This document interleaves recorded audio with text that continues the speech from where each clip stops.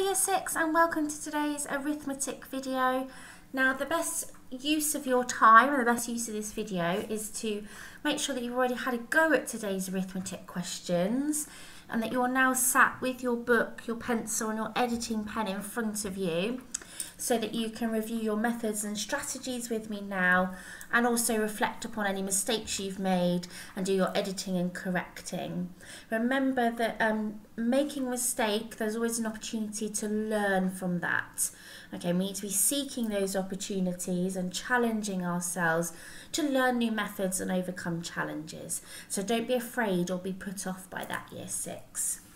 Okay, let's start then with question number one we've got 836,297 add 142,382 and I've set up my formal column method here ready for us. Hopefully you've chosen to use the same method. So we start over here in the ones column. 7 add 2 is 9. 9 add 8. Well, if I know if I take 1 from the 8 and add it to here, that would be 10, leaving me with 7 to um, add, so it would be 17. I know 2 and the 1 I've carried is 3, and 2 3s are 6. 6 and 2 is 8. 3 and 4 is 7. 8 and 1 is 9. 978,679. Give your work a neat little tick if you've got that one. If you know that you need to review your learning, please pause the video now.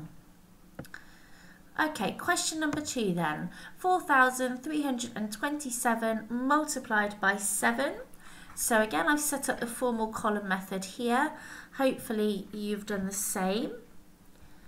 So we're going to start over here with 7 times 7, which is 49. 2 times 7 is 14. Add the 4 we've carried is 18. 3 times 7 is 21. Add the 1 we've carried, 22. 4 times 7 is 28. Add the 2 we've carried is 30. So our answer is 30,289. Again, if you've got that one, give it a neat little tick. Pause the video now if you need to review your learning. Okay, question number three. We've got 517,278 subtract 285,116.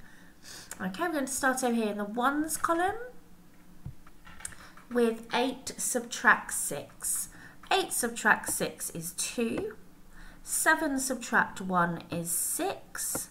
2 subtract 1 is 1. 7 subtract 5 is 2.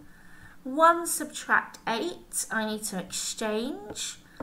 I'm going to exchange and use a 10 to make 11 subtract 8, which is 3.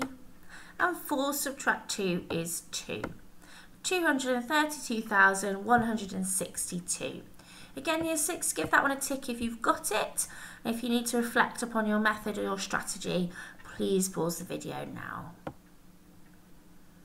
Okay, this brings us to question number 4. We've got 9,864 divided by 12. I'm going to start by thinking, how many times does 9 divide by 12? Well, it doesn't. So I'm going to exchange my 9 and bring it across to make 98. How many times does 12 go into 98? Well, I know 12 times 4 because I know my 12 times table. 12 times 4 is if you're not sure, work out 12 times 2 first of all. And 12 times 4 is 48. Therefore, I know that if I double 4, it makes 8.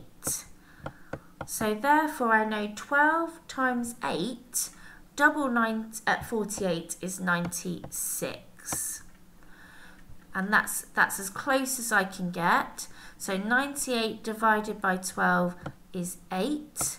with a remainder of 2. I count on from 96 until I get to 98 to find my remainder.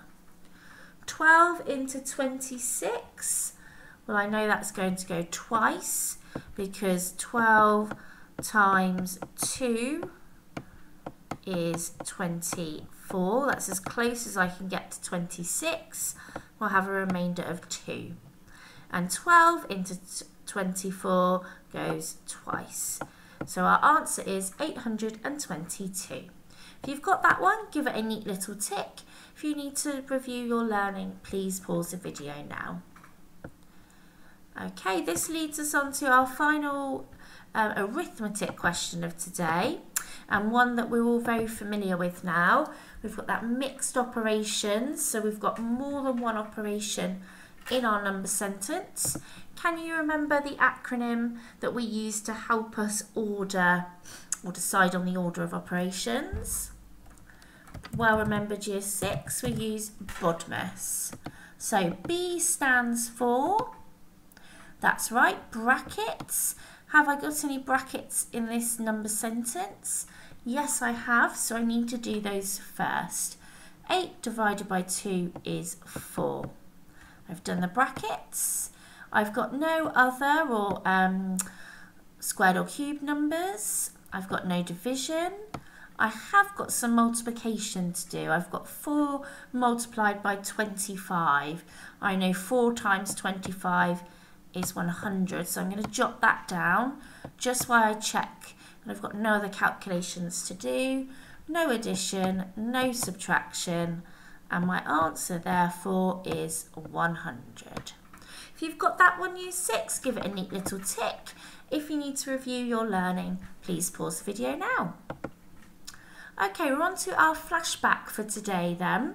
We're going to start with question number one, which may have been a little bit of a challenge to some of us. So well done if you were resilient and you had a go and didn't give up. That's part of our gateway this half term, isn't it? Being an explorer and being determined. So we want to know which pair of angles, now a pair of angles means we're looking at two angles, are vertically opposite each other. Now I know opposite, um, I know that means sort of side by side or next to each other. Now normally vertical, when I think of the word vertical, I think of a line in this direction. However, when we are talking about angles, it's slightly different, okay? So when we see vertical angles. A vertical angle means they share the same vertex. Okay, so vertical um, in this case means they share, or the angles share, the same vertex. That's the corner. Okay, the corner point. Okay, it's not the usual meaning. Now, I know some of you have been um, doing some journaling in your maths books. So some of you may want to pause this video now and record that new piece of learning in your maths book. Okay, so what we're looking for then is an angle that shares the same vertex or the same corner point.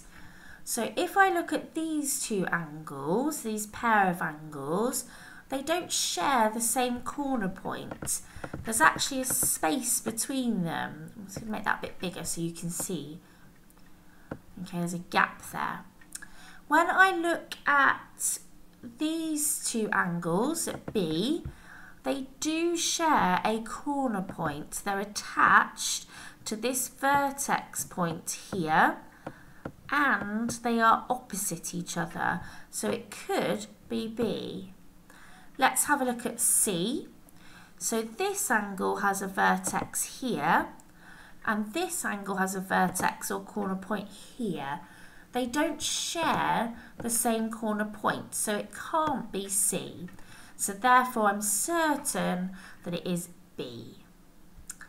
Okay, let's have a look at question number two then. what do the angles in a straight line add up to? Now, I'm just going to remind you, year six, that when we think about this question, just make that a bit smaller, okay, the straight line, it doesn't matter if it's vertical, or if it's horizontal, or if it's diagonal, it can be any straight line. It doesn't matter which direction it's going in or where it's facing. All the angles on a straight line add up to, that's right, well remembered, 180 degrees. Okay, you must have that degrees symbol in there to be able to tick your answer correctly. So some of you might need to review that in a moment. Okay then, question three. It says, what fractions, we need to be thinking about fractions now, of the fruits are apples?